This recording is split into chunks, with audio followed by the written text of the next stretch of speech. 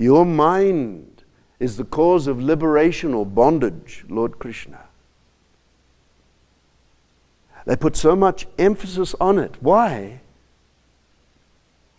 Can't we just be as we are? Well, the results of your life are before you. Sometimes when you're on a boat out in the ocean,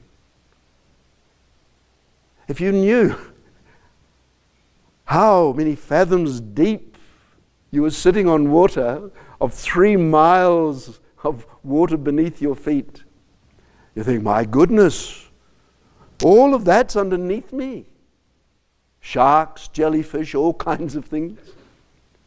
Similarly, the depth of our mind, the capability, very few of us measure or understand it. And so these three great sayings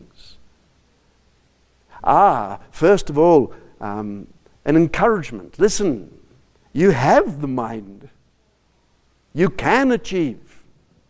But it's also a warning because this is a tremendous power and if you misuse it, don't understand it, then you can get yourself into deep trouble.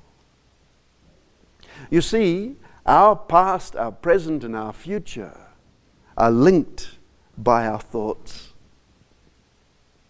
How we have thought in the past is determined how we are today, and how we are thinking today determines our tomorrow.